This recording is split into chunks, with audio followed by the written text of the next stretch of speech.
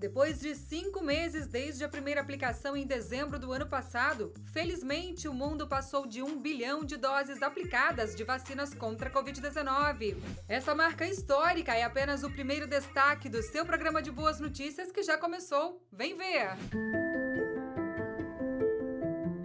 Um bilhão. Aí um número até complicado de mensurar. Um ano atrás era difícil de pensar que conseguiríamos atingir esta marca em um tempo relativamente tão rápido. Mas sim, depois de cinco meses, o mundo passou neste último sábado a marca de um bilhão de doses da vacina contra a Covid-19. Mas para isso, centros médicos profissionais voluntários e instituições governamentais vêm se empenhando para que cada vez mais a vacina seja aplicada em todo e em qualquer lugar. Fundamental a vacina. É a primeira e grande barreira que nós temos agora.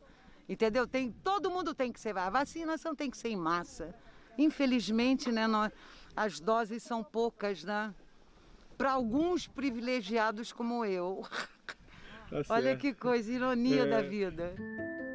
Sim, dona Olga, a gente sabe que tem muita gente para vacinar ainda, mas o seu exemplo e o de tantos outros ajudam a esperança a voltar a brilhar nesses tempos de tanta incerteza.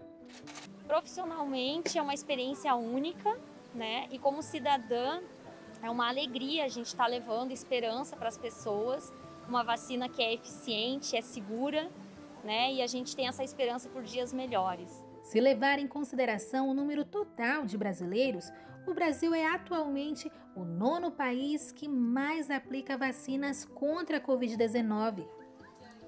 Mas o país que segue na frente está no outro lado do Atlântico Israel é o país com o maior percentual de população totalmente vacinada. Cerca de 60% dos israelenses já receberam as duas doses da vacina e, aos poucos, a população já pode respirar sem o uso da máscara ao ar livre. Isso é liberdade. Somos felizes. Somos livres. É um milagre.